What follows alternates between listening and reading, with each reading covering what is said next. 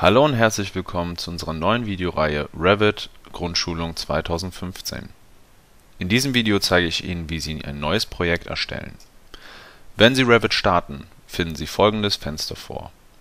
Hier können Sie neue Projekte erstellen, alte Projekte öffnen und sehen eine Vorschau Ihrer zuletzt geöffneten Projekte. Darunter finden Sie die Familien, auch hier können Sie Familien öffnen, neue Familien bzw. Entwurfskörper erstellen. Auch hier sehen Sie diverse Vorschaubilder Ihrer alten, zuletzt geöffneten Projekte. Auf der rechten Seite finden Sie diverse Hilfsfunktionen sowie kleine Videos zu Revit. Auch das Revit-Icon oben links in Ihrem Bildschirm bietet Ihnen diverse Funktionen an, um alte Dateien, Familien bzw. Projekte zu öffnen oder zu speichern. Klicken Sie hierfür auf das große R oben links in Ihrem Bildschirm hier finden Sie eine Liste der zuletzt geöffneten Projekte bzw. Familien vor. Halten Sie Ihre Maus auf Neu, können Sie hier ein neues Projekt, eine Familie, einen Entwurfskörper, einen Plankopf bzw. Beschriftungssymbole erstellen.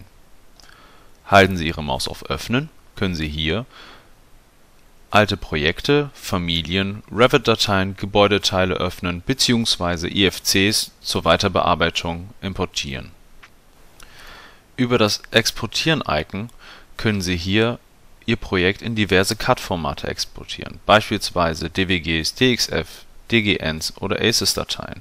Auch können Sie Bilder und Animationen hier exportieren.